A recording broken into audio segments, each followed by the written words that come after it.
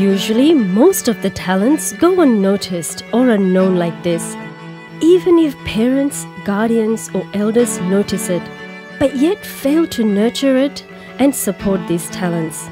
As every child has a talent or ability, whether they realize it or not. But in this case, things went different. This child was fortunate enough to attract the attention of the right person who realized this child's inner talent and showed him the right direction to fulfill his potential. From this point, he continued finding the inborn talents in various other children who carried some potential, may it be in any field, which he then nurtured and helped them blossom. Yes, I am the change.